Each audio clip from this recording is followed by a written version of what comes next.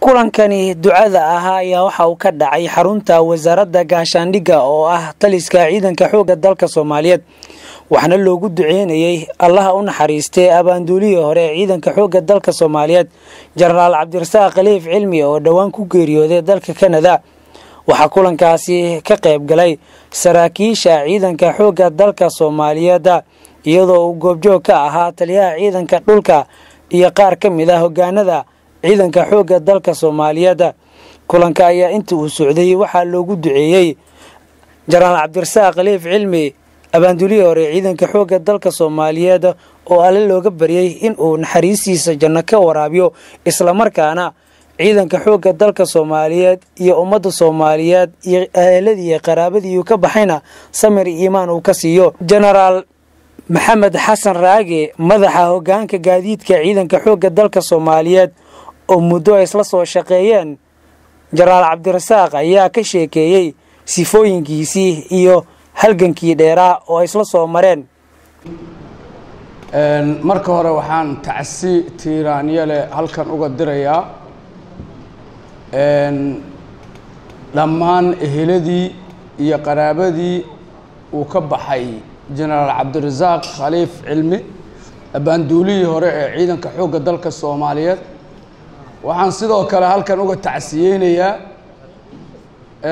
dhammaan xoogga dalka soomaaliyeed saraakiishiisa saraakiil xigeenkiisa alifleydiisa iyo dableyda iyo dhammaan xaasaskooda iyo ehelada ayaga ka dambaysa oo uu bah ahaan ka tirsanaa abaanduulihii hore ee xoogga dalka soomaaliyeed muddo dheerna uu u ahaa ehel la wadaaga nolosha iyo dhibka ay soo mareen xoogga dalka soomaaliyeed. Intaas kadib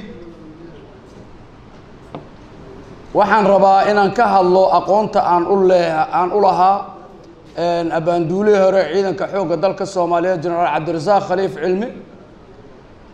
Cabdirasaaq wuxuu ka mid ahaa saraakiishii kulliyaddan jaalasiyaad ka qalin jebiyey xilliyadii toddobaatan iyo iyo iyo sagaalkii. Aniga gruub guruubada iga horreeyu ka mid ahaa waxaan isugu nimid qeybta lix iyo labaatanaad gaaskiisa saddexaad. Qeybta lix iyo labaatanaad lafteeda taliska qeybta lix iyo labaatanaad ururada degan wuxuu ka soo shaqeeyey meelo fara badan sida guutada afar iyo labaatanaad oo motorizedka ahayd. Urur ka mida taliyo ururu ka ahaa markii meeshaas uu imaanayana gaaska labaad. Meesha la yidhaahdo ina guuxaa iyo eriyadeeda ayuu muddo dheer shaqo ka hayey kadibna waxaa loo soo bedelay gaaska saddexaad. Anigoo laba horimoodoo madaafiicda goobtaa meesha ku haystoo laba xidiglaa ayaa isagoo taliyaha ururka boqol toddobaatan iyo sagaalaad oo ciidanka lugta ah la keenay wuxuu noo ahaa taliyaha deegaanka. Dhammaan hogaaminta dagaal isagaan hoos imaanaynay xilligaas. Duruqsi ninka yaqaana ayaa yaqaana waa waxay ku taallaa waddada xariirisa burco iyo wardheer waddo aada u muhiima waaye oo dhinacaan markii la aado galbeedkana ood weyne laga geli karo dhinacaan markii la aadana buuhoodle iyo caynaba ay ka sahlan tahay toos marka loo baxana burco la tegi karo. Weliba ay suurtagal tahay waddooyinka qaarkood marka la maro in hargeysa la tago. Walow ururadu xoogga dalka soomaaliyeed xuduudka aada aragtay xilligaa ay isu jireen ugu badnaan siddeed kilomitr connectionkooda dagaalna uu isku xiraa haddana cabdirasaaq aniga muddadii aan la soo shaqeeyey waxaan ku iqiinay inuu yahay sarkaal ku firfircoon howlaha ciidanka. Waxaan kaloon ku iqiinay inuu yahay sarkaal ku cadaalad badan dadka uu xukumaya dhexdooda. Aada iyo aada arrintaas waxyaabo badan oo aan goobjoog ka ahaabaa jiray oo arrintaas aan sabab uga dhigayo. Sarkaalku markuu ku sifoobo hogaamin wanaag iyo cadaaladna completely waxaa dhammaystirmaya hogaamintiisa guud ee uu ciidanka dhexdiisa ku joogo. Nineteen eighty four ayuu wuxuu noqday minjir xoogga dalka soomaaliyeeda. Dagaal aan ka wada galnay meeshaas. Xilligaasoo anigana aan kabtan ku noqday.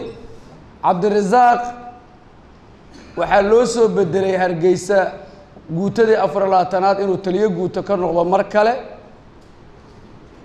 mudduu ka shaqeeyey markii dambena waxaa loo soo wareejiyey muqdisho.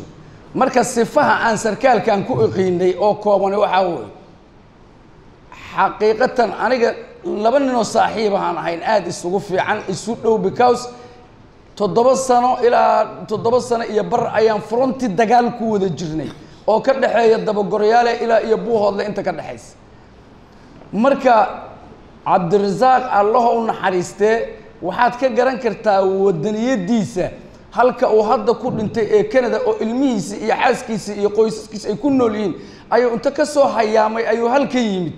Macnaheeduna ma ahayn inuu xagga nolol ka waayey. Ma ahayn. Exactly waxay ahayd inuu ka qayb qaato sidii loo badbaadin lahaa ummaddan. Allaha u naxariisto mar kalena allaha u naxariisto mar saddexaadna ilaahay u naxariisto. Ilaahayna waxaan ka baryaynaa inuu jannadii firdows ka waraabiyo waxaan intaa ku soo koobayaa oo aan ku soo ururinayaa taariikhdii aan soo wada shaqaynay cabdirasaaq khaliif cilmi oo kooban. Waxyaabihii aan isla soo marnay hadda aan ka sheekayna haddaan idhaahnana wakti dheeray qaadanaysaa. Wakti dheeray qaadanaysaa. Dagaaladii aan isla soo galnay iyo qaabkiisa hogaamineed wuxuu ahaa exactly meesha waxaa deganaa horin taangiya laba horimoodoo madaaficda goobta iyo urur ciidanka lugta ah oo ka kooban sancadii warisgaarsiintii sahankii everything. Bartiisa hogaaminta marka aad timaado waxaad dareemaysay exactly inuu sarkaal u diyaarsan inuu wax hogaamiyey inuu yahay. Waan rajaynaynaa in hogaaminta waktigaan jirta in inta isbeddel lagu sameeyo ay u gudubto sida dhabta ah ee loo hogaamiya ciidanka. Nimankan hadda reer galbeedka aan arkayno oo maalin walba inta noo yimaada wax naga beddelaya. Xaqiiqatan waxaa hubaala dhaqanka ciidankoodu isma bedelin kontonkii sane la soo dhaaf. Technolojiya waa ku soo kordhi kartaa laakiin technolojiyadaasi waxba kama bedesho habdhaqanka iyo hogaaminta ciidanka. Hadday tahay cir iyo bad iyo dhul hadday tahay. Waan rajaynayaa marka anoo fursaddan uga faa'iidaysanaya in dhul ninkiisibaa iska leh. Inaan ciidanka xoogga dalka soomaaliyeed gacan labaadoo noo dhisi kartahay ma jirte inaan saraakiila inta boorka iska horgufno. Nineteen sixtygii markii xoogga dalka soomaaliyeed la aasaasayey dadkuna intaan waa ka aqoon yaraa waana ka tiro yaraa waana ka tayo yaraa gacan labaad oo dhisma wax ka geysata xoogga dalka soomaaliyeedna ma jirin. Meeshaad aragtaana la soo gaarsiiyey waan rajaynayaa maanta haddaan caqli fayow iyo maskax fayow la nimaadno inaan dhismaha xoogga dalka soomaaliyeed ee hadda jira aan wax ka bedeli karno fikirka abaanduuli yare xoogga dalka soomaaliyeedna fikirkaasu ahaa. Waxaan rabaa marka inaan fursadayda ugu dambaysiiyo muddadii uu shaqaynayey qofku marka oo inta gurigiisa ka soo baxo shaqo mujtamaca uu leeyahay uu qabto waxna waa saxaya waxna waa qaldaya waa hubaal. Oo insaan baa la yahay allah subxaanahu wa tacaala oo keliya ayaa kaamil ah. Waxaan fursaddan marka rabaa inaan uga faa'iidaysto dhammaan saraakiisha saraakiil xigeenka alifleyda iyo dableyda xoogga dalka soomaaliyeed inaan mar kale tacsi u diro kana codsado ciddii in yar oo khaladaada ka dareentay ama ka tuhumtay abaanduuliya xoogga dalka soomaaliya intaasi kadib waxaa halkaasi ka hadlay taliyaha ciidanka dhulka xoogga dalka soomaaliyeed sareeye guuto cabdixamiid maxamed dirir kaasi oo sheegay in loo baahan yahay saraakiisha taariikhda ku leh ciidanka xoogga dalka soomaaliyeed in la xuso taasi oo uu sheegay in ay dhiirigelin u noqonayso guud ahaan ciidanka xoogga dalka soomaaliyeed. Anigoo ku hadlaya magaca ciidanka xoogga dalka soomaaliyeed saraakiishiisa saraakiil xigeenada dableyda alifleyda iyo xaasaskooda. Genaraal cabdirasaaq khaliif oo ahaa abaanduulihii ciidanka xoogga dalka soomaaliyeed oo aad maqlayseen taariikhdiisa iyo nolo taarikh nololeedkiisa inuu ka sheekeynayay jenaraal raage oo ahaa nin aad iyo aad geyiga soomaaliyeed macno weyn ugu leh xagga ciidamada xoogga dalka soomaaliyeed. Allah u naxariista baan leenahay isaga iyo xaasaskii iyo qoyskii iyo ehelkii iyo dhammaan ciidamada xoogga dalkana waa uga tacsiyeynaynaa halkan maanta waxaan isugu nimi inaynu xusno sida uu inoo ku weynaa sida uu inoo ku ahaa iyo magaca uu ciidanka xoogga dalka soomaaliyeed ku lahaa.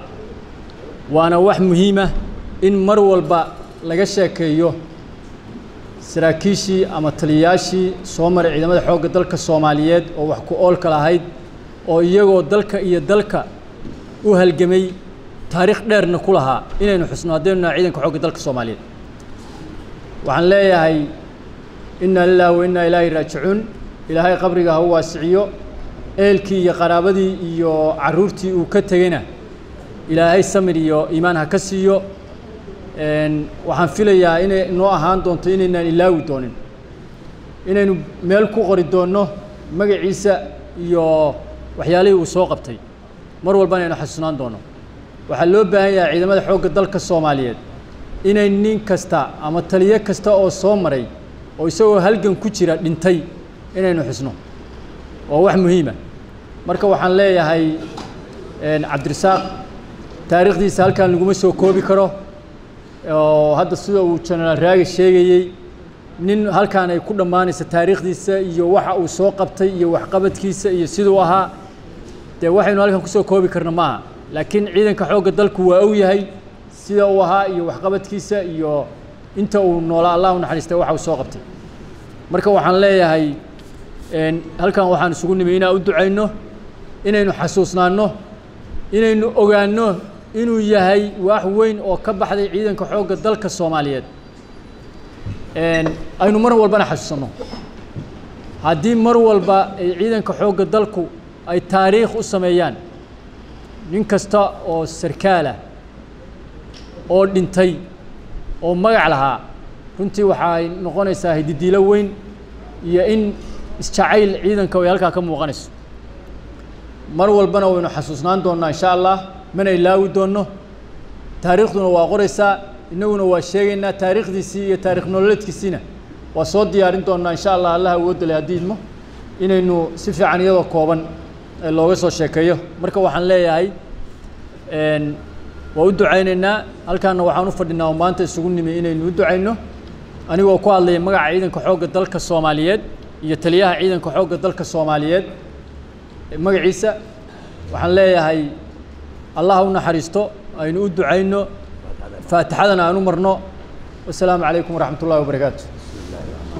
Jenaraal cabdirasaaq khaliif cilmi abaanduulihii hore ciidanka xoogga dalka soomaaliyeed ayaa dhowaan ku geeriyooday dalka kanada isagoona markaasi ka mid ahaa saraakiishii hore ee ciidanka xoogga dalka soomaaliyeed waxaana sidoo kale uu qeyb weyn ka qaatay dib xoreyntii dalka al-shabaab looga xoreynaya